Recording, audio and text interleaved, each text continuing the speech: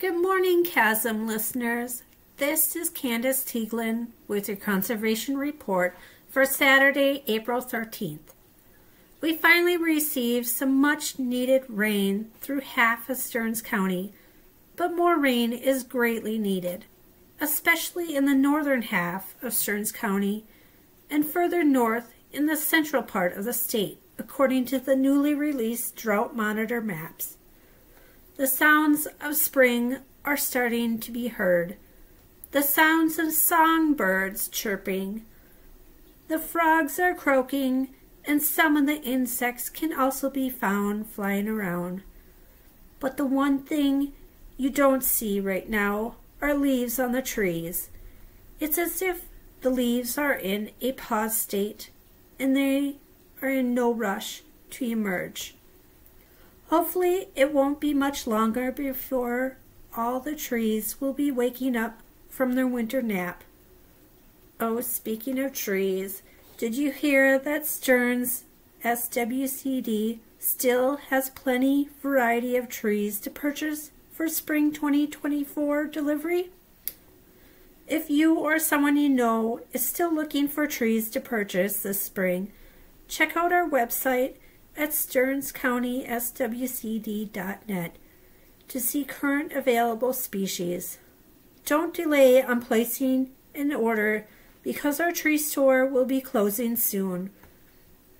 We are less than two weeks away until we have our tree pickup day. Our tree pickup day will be happening on the last Friday in April, which so happens to also be Arbor Day. So mark your calendars on Friday, April 26th, starting at 7:30 a.m. at Rockville County Park. Will be our one day only event to pick up your tree order. If you placed a tree order through our office, look for your green postcard in the mail soon. Did you know that the state of Minnesota proclaims April as Native Plant Month? If that sounds new to you, it kinda is, considering it was recently signed by our governor back in March of 2023. It is not only a state effort, but also a nationwide effort to bring awareness of the important role that native plants contribute to our local ecosystems. If you are looking to plant some native plants, Search no further than our website to find some native trees to plant on your property this spring. Do you or someone you know interested in the weather? Did you know that Stearns County precipitation data is collected by a group of volunteers scattered across the county?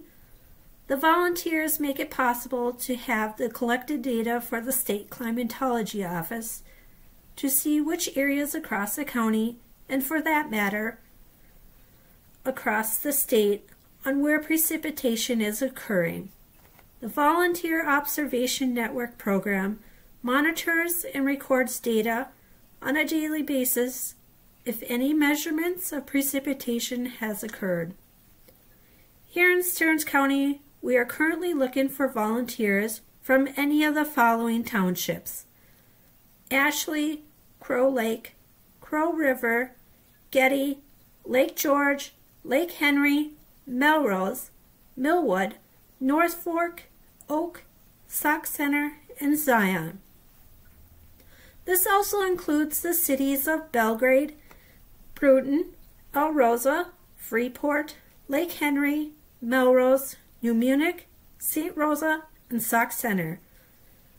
This program is also open to adolescents with supervision of an adult that can read and report their readings on a monthly form that is submitted to the SWCD office. To learn more about this program, contact our office with further details. I will be happy to assist you.